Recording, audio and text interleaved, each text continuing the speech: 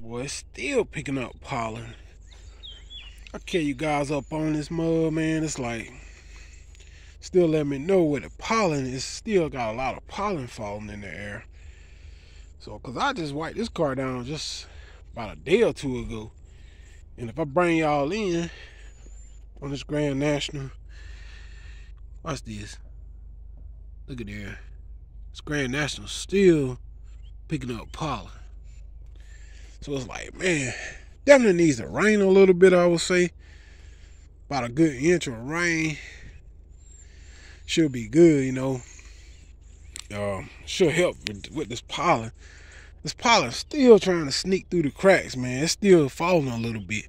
Not as bad as it was, but still got pollen, y'all. I just want to share that with y'all, man. That pollen still falling.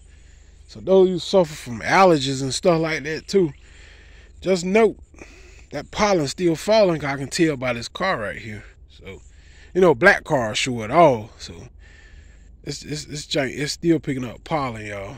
Hit that subscribe button. I'm out of here. Peace.